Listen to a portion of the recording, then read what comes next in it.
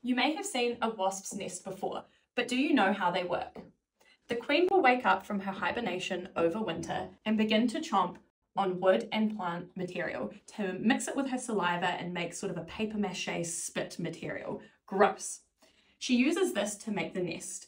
In each of the cells, she will lay an egg. This egg will hatch into a worker or a female wasp.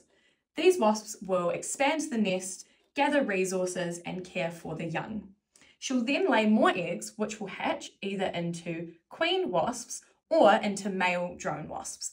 The point of these males is to mate with the queen to create even more wasps. Over winter, the nest will die off. However, the queens will go into hibernation to continue this process again. Because Aotearoa New Zealand has quite a mild climate, sometimes these nests can survive and continue to grow and expand. Because wasps are an introduced species into Aotearoa New Zealand, they don't have many natural predators, which means their numbers can rapidly increase. This means that they compete with our native species for resources. If you guys see a wasp's nest, check the caption below on what to do.